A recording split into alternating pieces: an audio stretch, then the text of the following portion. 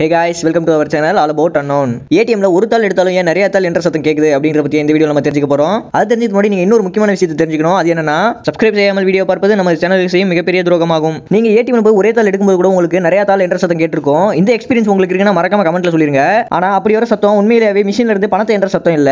மிஷின்ல இருக்க ஒரு ஸ்பீக்கரால வரப்படுற சத்தம் தான் அது. அது எதுக்கு அந்த ஸ்பீக்கர்ல அந்த சவுண்டை வச்சிருக்காங்க அப்படின்னு நீங்க கேட்கலாம். அமௌண்ட் எடுக்கிறவங்களுக்கு காசு இருக்கு அப்படிங்கிற ஒரு சாட்டிஸ்பிகேஷன் கொடுக்கறதுக்காக தான் அந்த ஸ்பீக்கரை வச்சிருக்காங்க. இந்த ஒரு தகவல் உங்களுக்கு இப்பதான் தெரியும் நான் மறக்காம கமெண்ட்ல சொல்லிருங்க. வீடியோ பிடிச்சிருந்தா இந்த வீடியோக்கு ஒரு லைக் போட்டு நம்ம சேனல் மறக்காம. மறக்காம சர்ப்ரைஸ் பண்ணுங்க. தேங்க்யூ நம்ம அவங்கள மாதிரி ஆகணும் இவங்கள மாதிரி ஆகணும் அப்படின்லாம் ஆசைப்படாதீங்க. அதுக்கு தான் அவங்களே இருக்கிறாங்களே. நீங்க நீங்களாவே வாங்க. யாரோட அடையாளத்தையும் நீங்க எடுத்துக்காதீங்க. உங்களோட அடையாளத்தை இந்த உலகத்துக்கு நீங்க பதிவு பண்ணிட்டு போங்க.